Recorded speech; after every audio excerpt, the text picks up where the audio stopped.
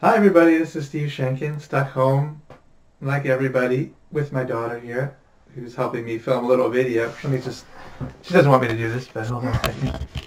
Hi. That wasn't the greatest um, view of her, but uh, she decided to be behind the camera today, and I totally respect that. I would prefer to be behind the camera myself, which is why I normally sit in my room alone and write books. But what I'm going to do today is share something that I like to do when I visit schools, which unfortunately I'm not going to be doing for a little while. So what I like to do is a writing exercise. And what I'll do normally is tell a story from one of my books. I love to research, a huge history nerd, and I'm very proud of that. And I'll find a story that I think is great and share it, and then we'll all, within a, a classroom, kind of write our own version of that story. So that's what we're going to do right now. And I've picked something from this book, Bomb, a book of mine, nonfiction book about the making of the atomic bomb during World War II, and kind of a science spy thriller, which is a kind of book that I love to read and, and wanted to try to write in a nonfiction form. So that's what I did here. And I also, you know, when you're writing nonfiction, it's just as important as in fiction or movies. You need great characters. And I can't make them up, so I have to find them through research. In this book, Robert Oppenheimer is clearly the main character. He's the physicist in charge of the Manhattan Project, this secret lab called Los Alamos in New Mexico, where American scientists are trying to figure out how to make an atomic bomb. And I wanted to introduce him with a scene, and I wanted to do that thing that teachers always tell you, and have teachers told you this, to show, not tell. Yeah. Do you know what they mean when they say that? Did they ever explain it? Because I don't feel that they ever explained it to me. They just said, show, don't tell. Yeah. And it was like, what do you mean? I don't know. But I think I understand it now because really uh, you have to do both when you're writing. But the idea is that if you're going to introduce a character, you could use a bunch of adjectives to describe them, or you could just show a scene.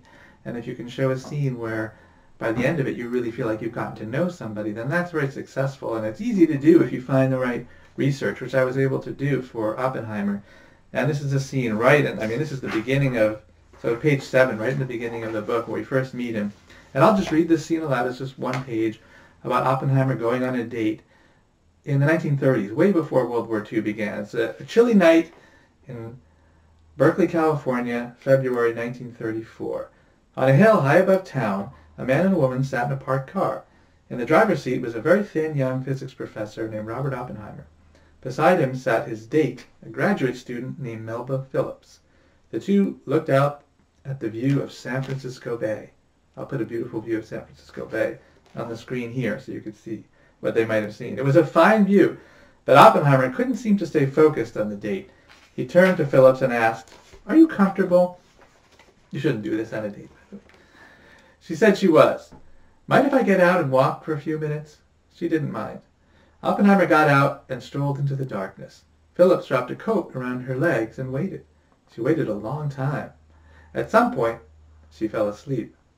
She woke up in the middle of the night. The seat beside her was still empty. Worried, she stepped into the road and waved down a passing police car.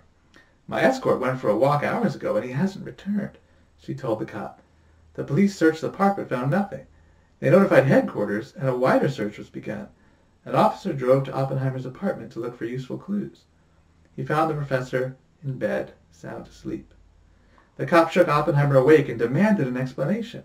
Oppenheimer said he'd gotten out of the car to think about physics. I just walked and walked, he said, and I was home and I went to bed. I'm so sorry.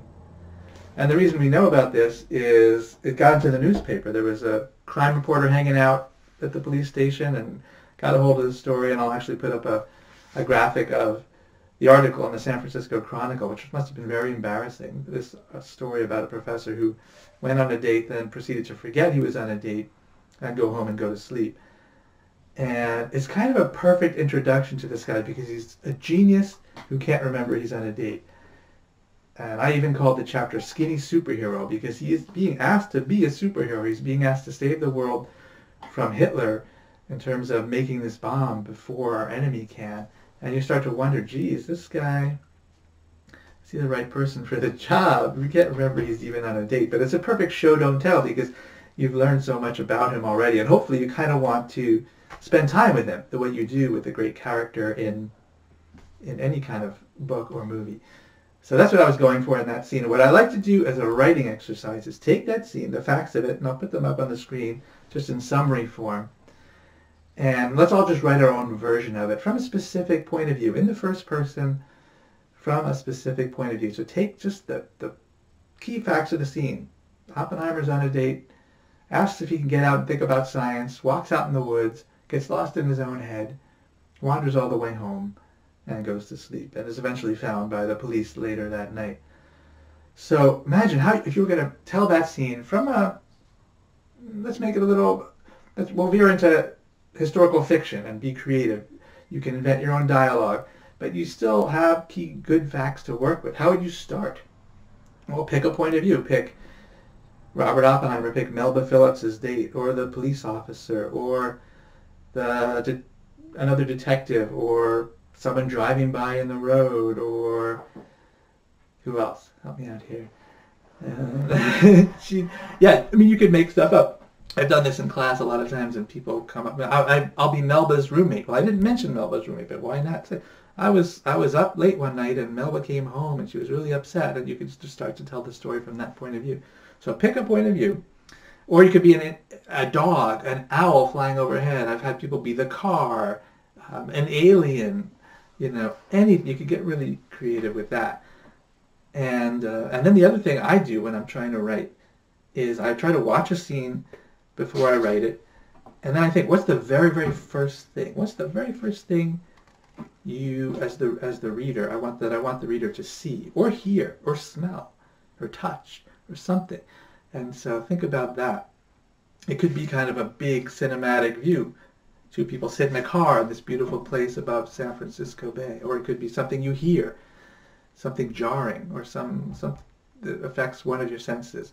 And that's also often a good place to start. Once you get that, um, it can kind of flow from there. So I'll put up the key facts of the scene and some pictures that might help. And I would just say everyone just kind of write a one-page version of that scene. And then what I'd love to do is have people read aloud. And we can't exactly do that right now, but we sort of can. I can. You can feel free to email it to me at my website, which is just my name. And you could either record yourself reading it, or you could just send me a page, you know, send me a, a Word file and I'll, and I'll read it aloud in another video. So let's just take it from there and thanks so much. See you soon.